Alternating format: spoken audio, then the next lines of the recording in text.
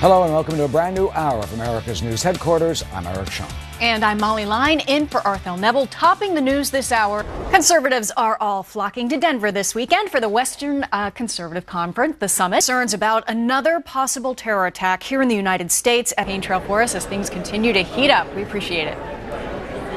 The Supreme Court nears the end of what some are calling an historic term. With uh, so this really gives me the heebie-jeebies, and I'm sure there are a lot of folks out there hitting the hitting the pool this summer that are like, "What? The CDC is warning us about this." So, what is this parasite? Uh, it's called crypto for short, which makes it Right. kind of sound like a supervillain. And how dangerous is it? It is for that great much. advice. So tell the kids to follow the rules. Don't do the bad things in the pool. We Yep, appreciate just it. when you Thanks think it's safe to go us. back in the water. Thank you.